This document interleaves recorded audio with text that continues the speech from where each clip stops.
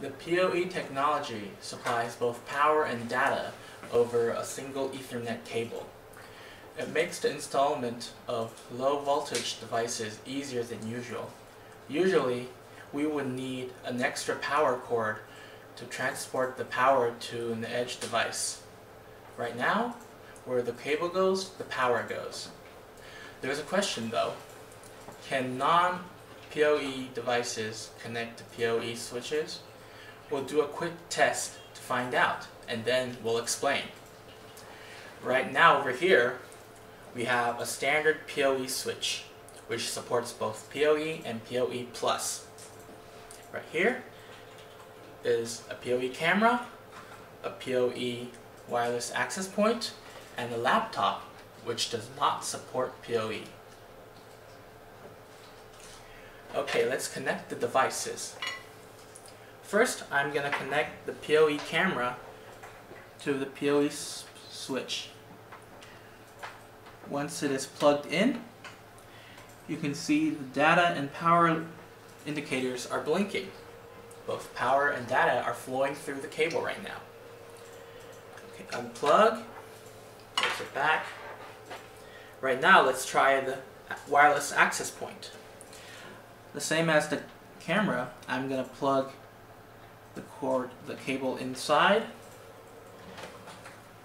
And both power and data indicators are blinking. So same as the PoE camera, the wireless access point is transmitting both power and data. Unplug. Now let's try the, the laptop, which does not support PoE.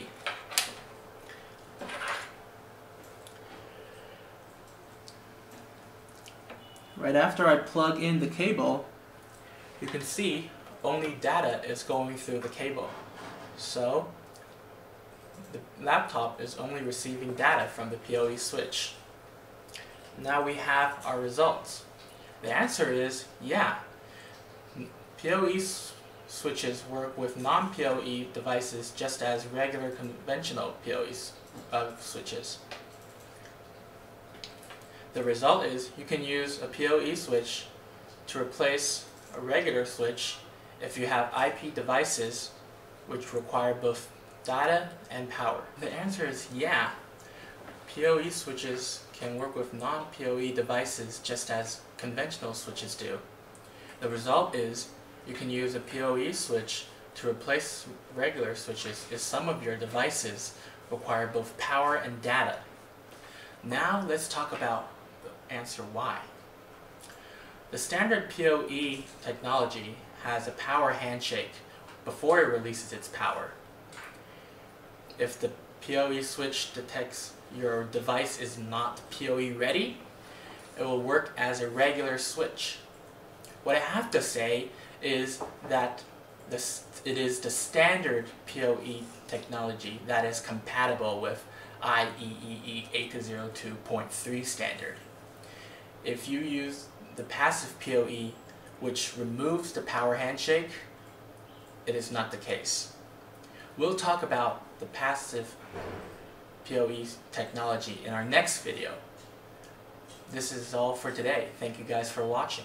Please leave your comments in the section below, and we'll see you next time. Have a great time.